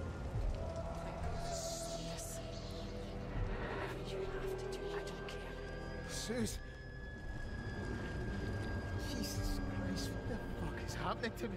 And it's clear that it's maybe the parasite that's starting to cause these effects to happen to Kaz, these hallucinations to occur. Heading up a ladder, you can see Brodie calling to you from inside of some sort of crane. Brodie and Kaz have a brief conversation about who's still alive on the rig and the status of the rig itself before talking about what needs to be done now. Fucking hell, how you doing? Better than you by the looks of it. Did you see any others? You mean anyone alive? Well, I spoke to Roy. He's not doing great without his insulin. And I've no idea where Finlay is now. I spoke to her a few minutes ago. She's stuck until she gets past Rennick. Or what used to be Rennick. Feels like everybody's dead or worse. I don't know about your side of the pontoons, but where I was, the oil tanks are burst, and I think there's a gas leak. I mean, I'm looking for a fucking bright side here. Well, let's cross that bridge when we come to it, alright? And what needs to be done now is fix the stack so that the whole rig does not explode. Right now, we have to deal with the stack. That noise! Aye, okay. Alright, the stack. Kaz will have to go over to the processing quad where the monster version of Adair is, which of course Kaz objects to. It's burning out. It could get worse. And if it does, it could spread to the derrick and cause an explosion. Right, so we're fucked. Again. Not if we switch the flare onto the auxiliary gas pipe. If you go over to the processing quad, I can. What? Have you seen it out there? Oh, aye, it's quite nice in here, you know. Maybe we should swap. But this objection is shot down as Brodie is the only one who knows how to operate the crane, therefore Kaz will have to go. You can't work the controls, Kaz. Otherwise, I, of course, I'd go myself. Christ. Alright, alright. What am I doing? You need to get there and find the diverter valve, main to the auxiliary. It's on the middle floor, flare side. I'll ignite the stack from here. Right. If I can't do it, then you'll need this. Jesus. I'll be on the tannoy if you need any help. Now I must say, this final horror section with Adair is extremely linear, so I can say from playing this game three times that it is extremely hard to fail this section as you're basically on rails the whole time. But nonetheless, it's still a fun section to show the deterioration of the rig and to once again show how much of an asshole that Adair is.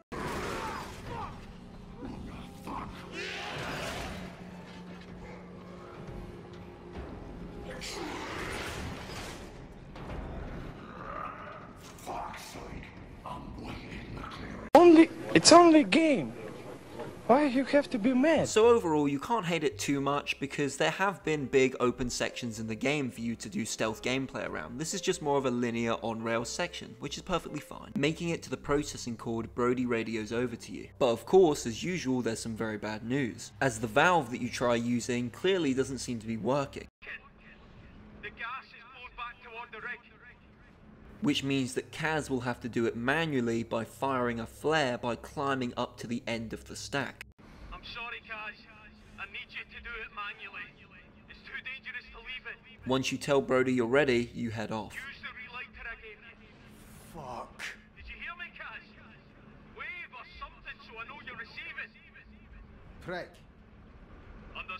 Getting to the entrance of the stack, an alarm is triggered, causing Adair to chase you up the stack. Now, while you could argue the last section was a bit too on the rails, this section is on the rails but in the perfect way. This is the second chase segment in the game, but it's really fun because this time you have to actively be doing parkour to make sure you don't fall off the stack and die. I really like this chase. I like it more than the first one with Rennick as well. I just feel like the stakes feel really high. Making it to the top, Kaz throws in the flare, and let's just say we're extremely lucky that Kaz can throw like Shaquille O'Neal can dunk, because if he couldn't, then this game would have been a lot shorter.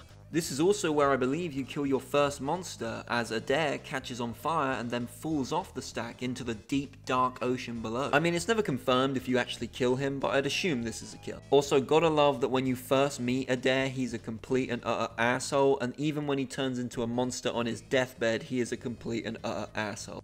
Well, you're not be missed.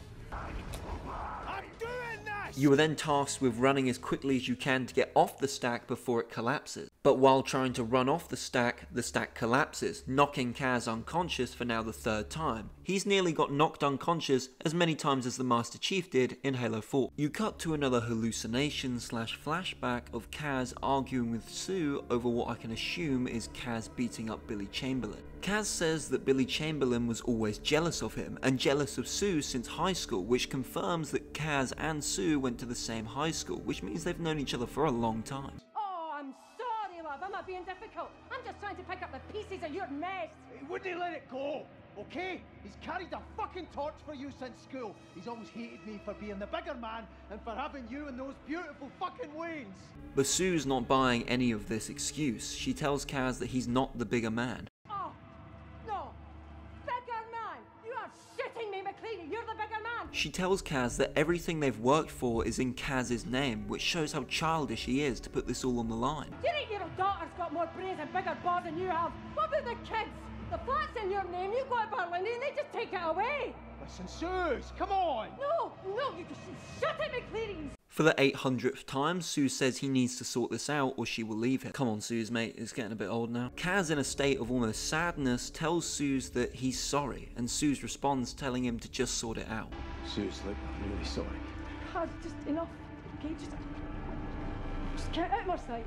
Try not to put anyone else in hospital the day, yeah?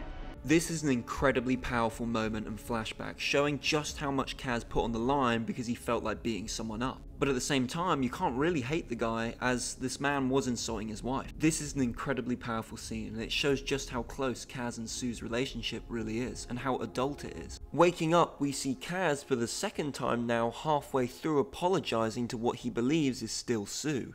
Wh- Why'd you have to... Ah, Suze. Jesus Christ. Oh, fuck. Jesus. Suze. I done?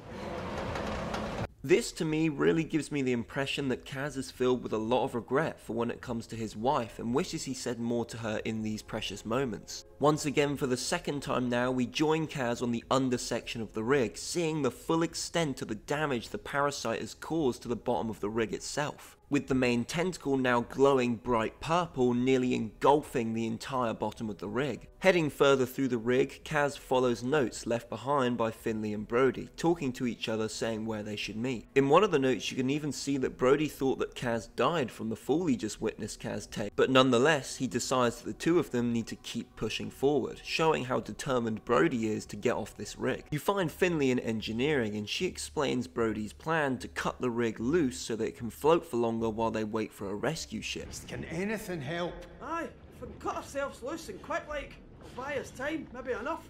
Do we even know if anyone's coming? We've been off radio for hours, so aye, I should hope so. Finlay, Brodie joins the two of you and starts to explain his plan, however, it's cut short by the sound of Roy's voice from over the intercom. Miracle.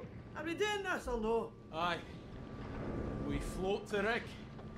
I'll dive down and release the tension cables. Hopefully we balance out, maybe end up higher in the water. I'll need you both in marine control. It's Roy. Hello, can you hear me? Roy is pleading for help as he couldn't make it to his insulin in time. Accommodation roof. I don't know how long I can last without insulin. He's up on the roof. I have to get him. No! Is anybody out there? You have to get to marine control with Finlay. Please. It's a two-man job and we don't have much time. You think Roy does? So Kaz decides to try and save him, while Finlay waits for him and Brodie releases the tension cables at the bottom of the rig. Go.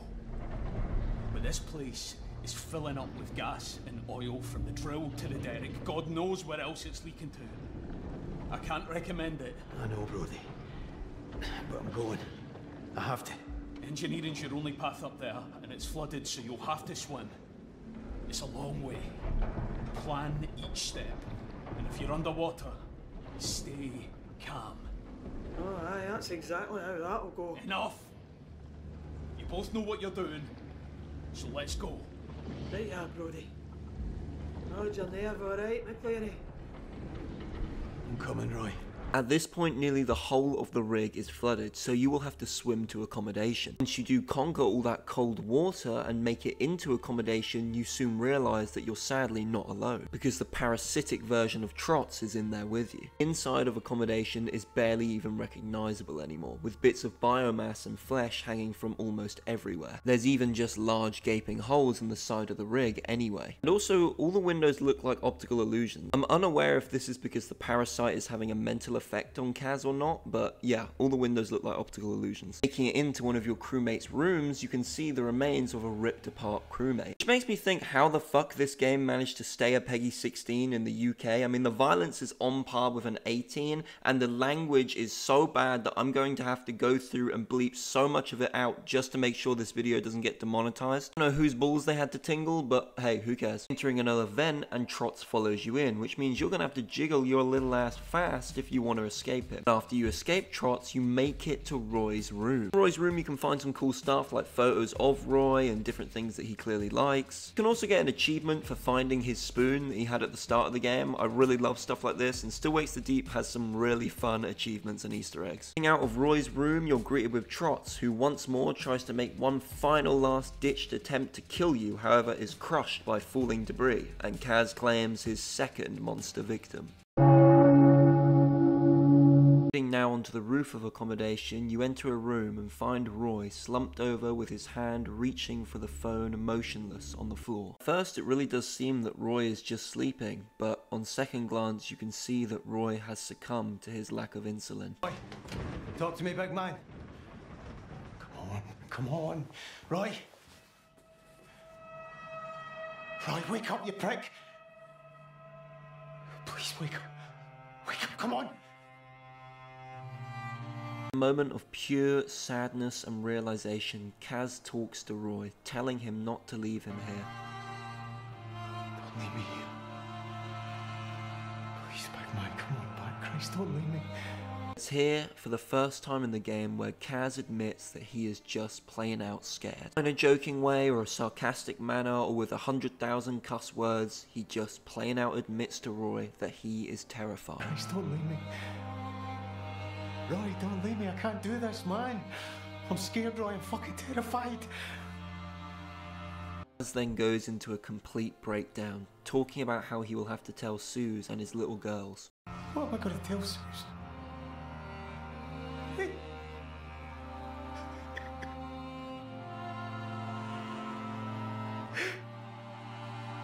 I mean, she's going to fucking kill me, man.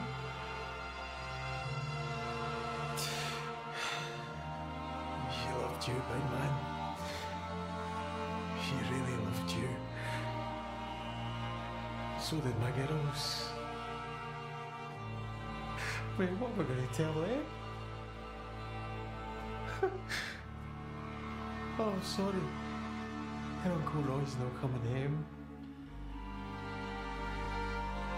Aye, I know. Me and Ollie. I love do you hear me? I love him.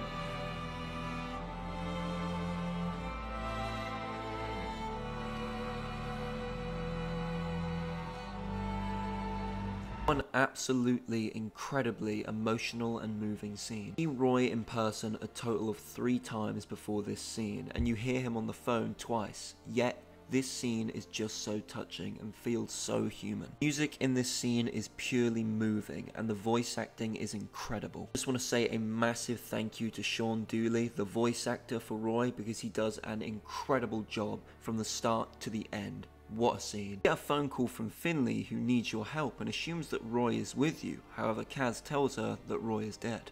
Look, Kaz, water's up to admin, so I couldn't get to Marine Control. You need to try and get there from where you are, alright? Jesus. Aye. And that English bastard better come and off. You can't stay in that hut forever, no. Kaz? Kaz, you still there? When you're no shouting, I start to worry like. Roy making a fuss? Put him on. I'll get him tailed. Kaz. For fuck's sake, what's going on? Roy's no coming. Ah, Jesus. Feels completely guilty for Roy's death and says he let him down, but Finlay tries to reassure Kaz saying that he didn't. Sorry, Kaz. No. We all love the big man, eh? I let him down. He was relying on me. No, no. No, you did everything you could. You went back for him. None of this is your fault. It's no anyone's. Look, I'm sorry, Kaz, but we need your help here. Agrees to help Finlay and they head off. Across the very top of the rig now you can see that the monster has what's like a purple glow coming from it and with a tornado like debris field forming around it. Making it into marine control you can see a semi-conscious Roper nailed to his chair by biomass engulfing him. Kaz calls Finlay and for this puzzle you will have to first phone Finlay to find out exactly what you need to do. If at any point you forget what she said you'll have to re-phone her and ask her again. I won't lie, I kinda wish you could fail here. I think it'd be really funny if you could fuck up and just blow up the rig. While following Finlay's instructions, at one point you will have to get a key, which is still in Roper's hand. It's alright, pal. Here we go. I'll look after this now, alright?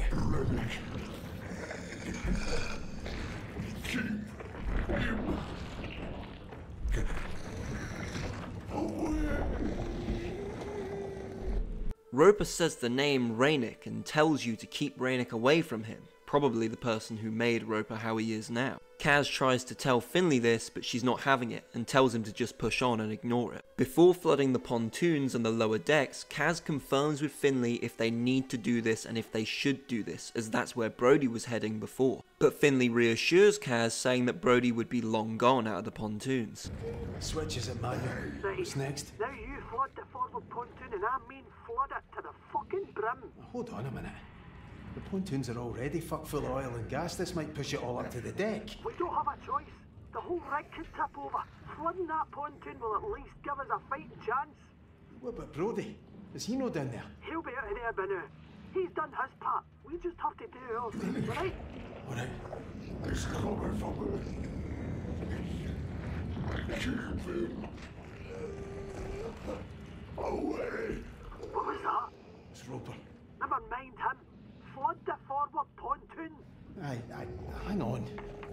So you nervously hit the flood button and then you're tasked with meeting back up with Finlay further in the rig. And after doing this and finding out it actually worked, the rig is beginning to float, Kaz and Finlay both start to have a bit more of a morale boost. Come on, what? It's moving. Did it work? Fucking aye. See, that's a hopeless after all, eh? Thank Christ, Finlay. What now? Brodie's got a plan. Meet us in drill ops as soon as you can. Okay, I'll meet you there. We're going to be alright, Kaz. I fucking hope so.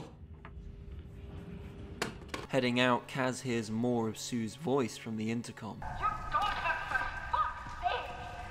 What is wrong with you? Fuck! Am I losing my mind?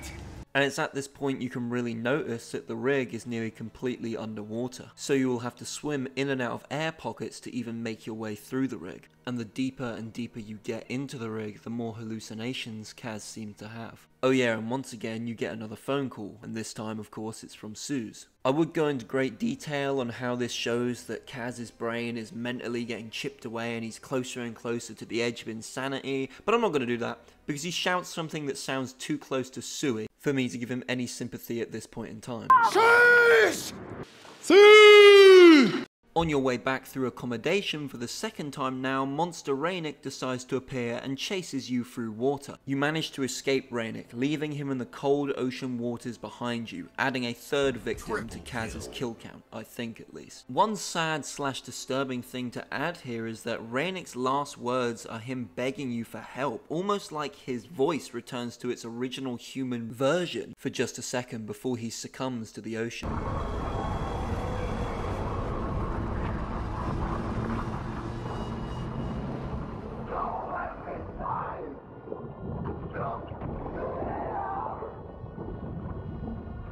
Make it into the drill operations center where you can find Finlay slouched over on the phone. She hands the phone to Kaz and walks off, sitting in the corner of the room on the floor. Kaz, you made it. Brodie, what's wrong with Finlay? She's freaked out here. Taking the phone, you can hear the docile voice of Brodie on the other end. Brodie reveals to Kaz that he's still trapped in the pontoons. Here. When it fills, it will be headed right up the drill pipe. You on about? I'm still in the pontoons. Oh, I've only got a couple of minutes. I can't stop it. The rig's a time bomb now. You understand? One spark and. You need to find a way off. which he will now have no way of getting out of because you and Finlay just flooded the whole area. Kaz pleads with Brodie to come back up to him and even offers to go down and try and save him, but he knows that he'd only get halfway before he himself is killed. Get back up here and we'll work it out, yeah? I can't do that. What? I can't get back up. No, wait. I'm sorry. Wait, listen. You're on your own now. I'll come to you. Alright? No, you won't. You wouldn't even get halfway to me. The leg's flooded and the gas, it, it's no possible. You got your dive gear? Aye, So you can use that. it's oil, Kaz. There's nothing to be done. In a very bleak and desperate moment, Brodie reassures Kaz, telling him that it's alright. Brodie tries to make light of this very dark situation, telling Kaz that he needs to get off this rig. Brodie tells Kaz to watch Finlay as he doesn't know what she's going to do after this.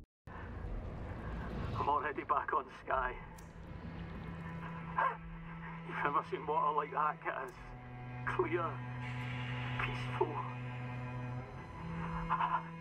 Just let go oh, and everything's fine. Hi. That sounds beautiful. You go one day. Alright? No, fuck that. I'm never swimming again after this. Kaz, you and Finlay, you could do this, alright? I'm sure she wouldn't do something so stupid. Brodie, you there? Kaz? What's stupid? Talk to me. It's getting higher. Alright, I'm here, Brodie. I'm not going anywhere. Alright, I'm here. Brodie's last words to Kaz are get home before the phone cuts out, and that's the last we hear from Brodie. Brodie. Oh, fuck. Brodie.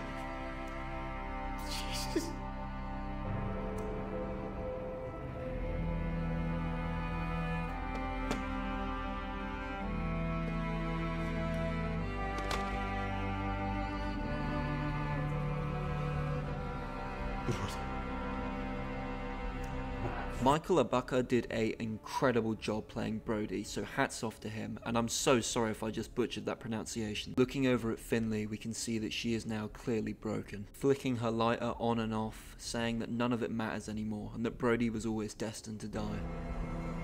What are we there now, fella? Doesn't it fucking matter? He's dead and you don't think that matters. He was always gonna die. Boy, them always.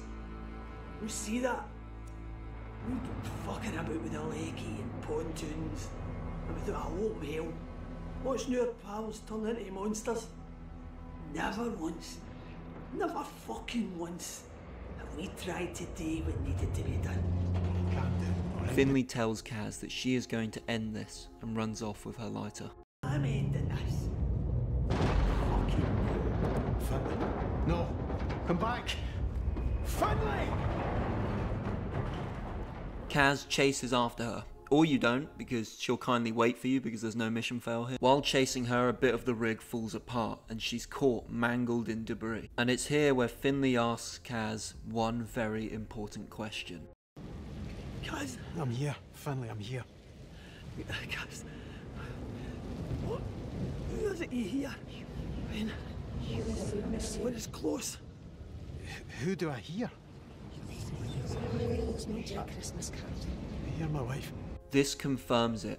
Finlay hearing her son, O'Connor's asking for his wife, and Kaz seeing flashbacks of Sue and hearing her voice. All while that oily biomass is affecting the side of the screen and your face. The sad truth is, Kaz was never just having these visions. It was the monster, the parasite. The minute that explosion went off, the truth is that they were all infected, monster or not. They were all truly doomed from the start. Finlay tells Kaz what needs to be done, and for once in Kaz's life, he seems to man up, stand up, and face it. We're not seeing them again. Kaz. There's got to be a shit coming. You, you said it yourself. Christ, Kaz. We don't want them coming. Oh, Jesus! I'm sorry, Finlay. I, I don't know what to do. We've got to face it, Kaz. What do you mean? Ah! We can't get back. We can't. But that can.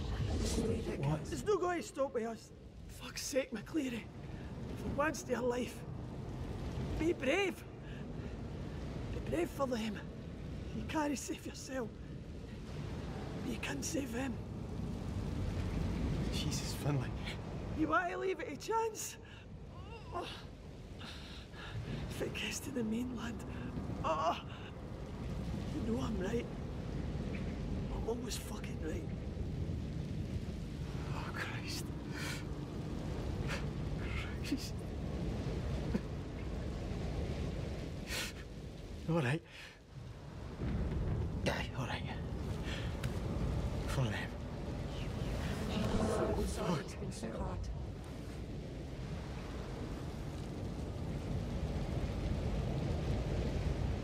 Approaching the growth, Sue's voice is louder now than ever, and you can see the growth pulsing. Standing by the ledge, Kaz drops the lighter whilst it's lit, and then the screen goes white.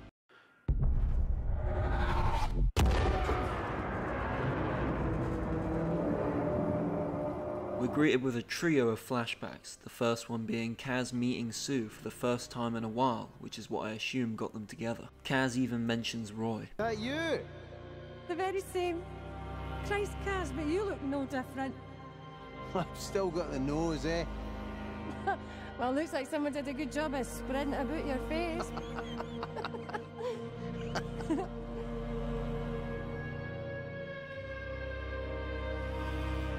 Oh, the big man a drink.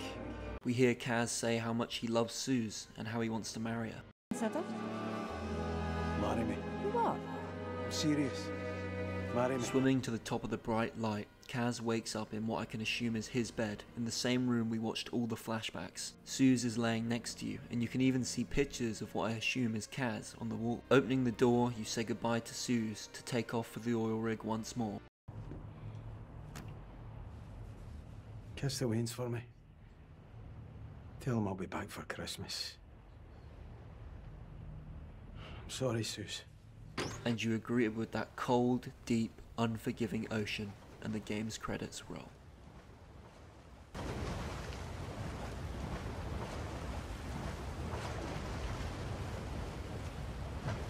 Hey, Kaz. I'm sorry it's been so hard. Just wanted to send you this. To say we'll get through it. I know we will. Take care out there and bring my beautiful big gallus man back home in one piece, okay? I miss you and I love you. And the girls miss and love you. I'm still raging at Roy, but He's a good man, and I know he'll look after you. Whatever happens, we will be all right. We can weather this. Just wanted to say that to you, Gaz. Keep you safe and close and make sure you know to come home to us. I love you, Cameron McLeary. Be safe out there on those waters. My man. My love.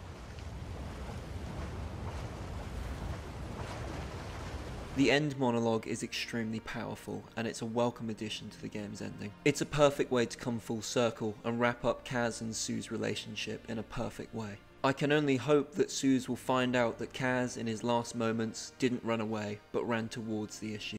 Now, before I say anything else, I just want to say a massive thank you to Kaz's voice actor, Alec Newman, as well as Karen Dunbar, who played Finlay. And for that matter, the whole cast, because they all did an incredible job. Now, before I give the game its final score and my conclusion on the game and my final thoughts, I need to talk about one very important thing. I need to talk about the game's music. Because the music in Still Wakes the Deep is superbly put together, with the somber moments sounding somber,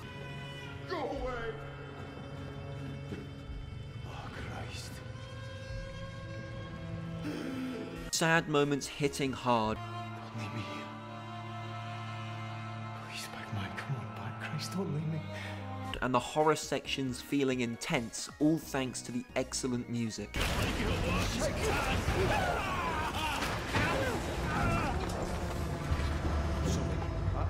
Don't really even know how to word this, but the music for the game is just so perfect. It's exactly what I'd envision when I think of a horror game set on an oil rig. For some reason, it's just so perfect and it hits so hard. To put it simply, the game's music is masterfully put together and excellent addition to the game. Now sadly, I do have to talk about some problems that I have with the game, but don't worry, none of them are story or narrative related. And while the gameplay is simple, to me, that's what the game was trying to do. It wasn't trying to be some AAA massive system Elden Ring type game, so the gameplay is not a problem with me either. However, I did encounter some bugs whilst playing. My game crashed once and then I had a few other glitches. Thankfully, the only major bug I had with the game was the crash, which is such a shame because other than that, I had no major bugs with the game. I had things clipping in and out of each other and little things like the phone would clip to the side or like rapid movements, but nothing bad. Other than the crash itself, the game run absolutely fine. Oh, except this other soft lock that completely screwed my game because it like stopped me from swimming. It was so annoying. There's a gap you have to fit through and it, it just fucking wouldn't let me go through. Okay, I need to talk about one last thing before my conclusion. Game's difficulty options allow you to pick between two different difficulties. The first one being standard, which is basically just your run-of-the-mill normal, and the second one being story focused, which is, well, story focused and easier gameplay. Standard is fair and balanced, and story feels like they give you just a little bit of extra time to make decisions and quick time events and things like that. There's also a lot of brightness settings. Still Wakes the Deep is an incredible game, with well written and interesting story, fantastic and compelling characters, and a beautiful setting and art style.